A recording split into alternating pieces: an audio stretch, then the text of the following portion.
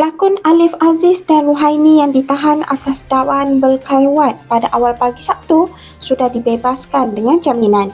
Mereka dilaporkan meninggalkan pekarangan pejabat Jabatan Agama Islam Wilayah Persekutuan Jawi kira-kira jam 2 petang tadi. Sebelum itu, terdapat beberapa buah kenderaan memasuki bahagian lobi Jawi dipercayai bagi mengambil kedua-dua artis tersebut. Sementara itu, Alif dan Ruhaini bakal didakwa di Mahkamah Syariah dalam masa terdekat.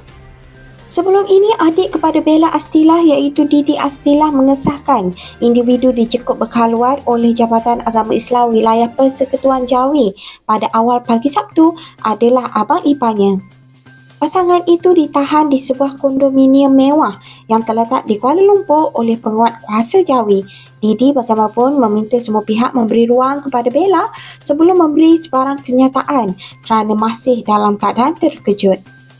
Difahamkan itu bukanlah pertama kali Alif berhadapan isu kontroversi, malah pernah beberapa kali berlaku curang terhadap Bella. Malah pasangan itu pernah bercerai pada tahun 2019 akibat sudah tidak tahan dengan sikap pelakon itu. Bagaimanapun pasangan tersebut mengambil keputusan kembali rujuk ketika dalam tempoh edan. Oh mungkin inikah cinta pandangan yang pertama Karena apa yang ku rasa ini tak biasa? Jika benar ini cinta mulai dari mana.